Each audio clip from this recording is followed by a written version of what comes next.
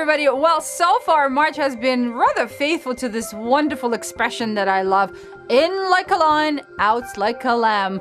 And now, of course, we're all ready for the snow to melt, for the migratory birds to arrive, and for the leaves to come out.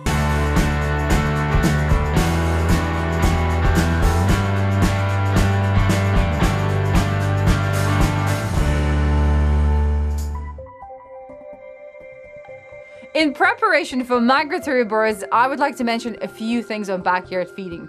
So first of all, if you're thinking about putting up nesting boxes on your property, now is the time to do that.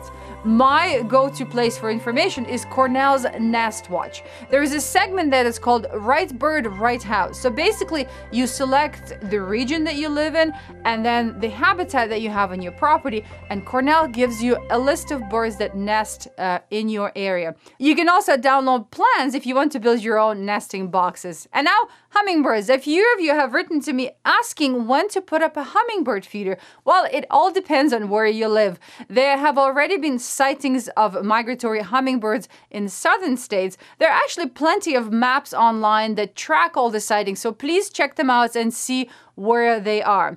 And if you're somewhere in the southern areas and you're ready to put up a hummingbird feeder, please remember to put it up somewhere in the shadiest spot and keep an eye on the hummingbird nectar because it does go bad in hot weather. And finally, migration means breeding season, and that's when birds sing their hearts out. So if you're looking for an app to help you recognize all the bird songs around you, there is one I can recommend. It's called BirdNet. It was created by Cornell and Chemnitz University in Germany. It was originally available on Android only, but after over a million downloads, it's now available on iOS. And the reason it's so cool is because it connects to a supercomputer in Germany, and that artificial intelligence is really smart. My husband and I tried to fool it, it didn't work. John Finley is wondering why a northern cardinal wouldn't feel threatened by a Cooper's hawk sitting next to it, or why the Cooper's hawk is not interested in the northern cardinal sitting next to it. Hi, John. Like me, you're lucky enough to have a pair of Cooper's hawks nesting in your backyard. You said you were watching a vivid red male cardinal singing its heart out at the top of a tree in bright sunshine, but also in the presence of a young Cooper's hawk perched in a nearby tree. The cardinal kept on singing, seemingly taking no notice of the danger nearby. On the other hand, you mentioned that you'd also seen another male cardinal suddenly freeze on the feeder for a minute while a coop flew to a tree nearby. Two things were likely going on, neither of which would have likely been picked up by a human eye. First, a lack of surprise. Cooper's hawks are usually the most successful at hunting if they're able to catch their victim unawares you can be sure that that singing cardinal was very well aware of the Cooper's hawk perch nearby and likely already had an evasive plan in mind should the hawk have attacked it. The hawk, knowing that, would not bother to waste its energy trying to catch something already aware of it. The same argument could also apply to that cardinal which froze in the feeder. Alternatively, it may well be that either or both of the hawks you saw had fed recently and thus they were not even interested in pursuing the cardinals for a meal. Besides their body language, the fact that it had recently fed would have been evident by a full crop on the hawk. All diurnal birds of prey have a crop in their esophagus which stores food before it proceeds down to the stomach. These full crops sometimes really stand out, even to the practiced eye of a seasoned birder. Using feces to determine eating habits of various kinds of mammals is not a novel concept, but with birds it's much more difficult. After all, most bird poop consists of liquid uric acid with a dark dollop of feces somewhere in the mix. In other words, all of the consumed items look the same at that point. But researchers at the University of Otago in New Zealand have come up with a brand new way to analyze feces, that is by identifying the DNA of the prey species. Yellow-eyed penguins are an endangered species in that country, and knowing what they eat is an important piece of knowledge for any conservation programs. Melanie Young, a PhD student, and her colleagues collected over 300 fecal samples from those penguins all along the Otago coast, and then extracted a specific gene found in all animals known as mitochondrial 16S to identify individual prey species in their diet. Blue cod was shown to account for a large portion of the penguin's menu. This is not good news for the future of the yellow-eyed penguin. Several key diet species that were once eaten quite regularly by the penguins in the 80s are apparently no longer available to them. This means that the penguins are quite reliant on the fate of the blue cod instead of having a varied diet. It's well known that any species, bird or otherwise, that hangs its future on just one or two prey species is less likely to be resilient in terms of its long-term survival. In other words, those species with a more specialized diet are less likely to adapt to any changes in their diet. No blue cod, no yellow-eyed penguins. It's that simple.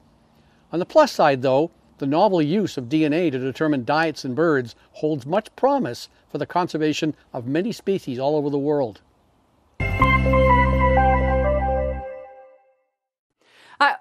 Love hearing stories about innovative ways researchers use to save birds, especially when it doesn't involve poisoning or removing predators. So, in this episode, let's travel to New Zealand in South Africa.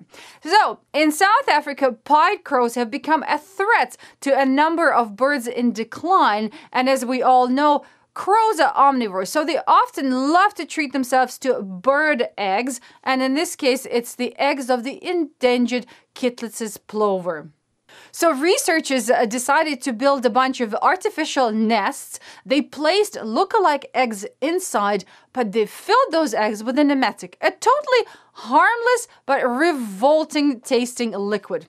So when the crows arrived, raided those nests and took the rotten eggs, they had a horrible meal. By the time plovers arrived and nested, crows had already learned that stealing their eggs wasn't really worth the belly ache.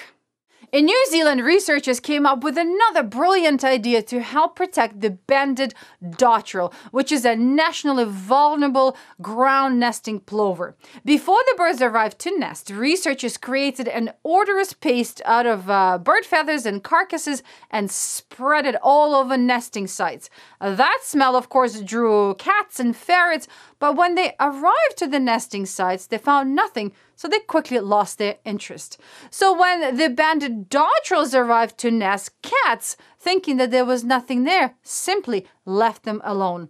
The experiment was conducted over two nesting seasons and it worked beautifully. So researchers are hoping that this ruse will continue to work because this is such a peaceful way to keep predators away. The Center for Biological Diversity in Hawaii is preparing a lawsuit against the U.S. Department of Fish and Wildlife. The goal of the lawsuit is to push USFW into action to protect the iwi, the Hawaiian honeycreeper, before it goes extinct. The iwi populations are in steep decline because of avian malaria and habitat loss. The center wants the U.S. Fish and Wildlife to designate a protected area where iwi's favorite nesting trees can be replanted and protected. And the next step is to sterilize mosquito eggs which cause avian malaria. This disease has killed a lot of iwis and many other Hawaiian birds. Wow, wow, wow. 144 photo entries on our Duck Duck Goose photo contest. Every single judge wrote to me saying how difficult it was to pick the top five. So let's give a round of applause to our judges. Thank you for your time and your hard work. Now let's check out the top five.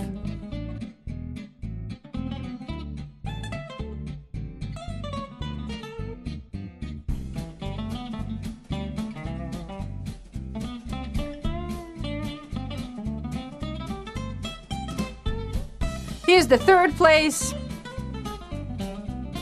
the second place, and the grand prize winner. Congratulations, everybody. Thank you for your participation. April is crows, jays, and magpies. All right, it's time to say goodbye. If you participate in our photo contest, please don't forget to ID the birds in your pictures. Take care, everyone. I'll see you in two weeks.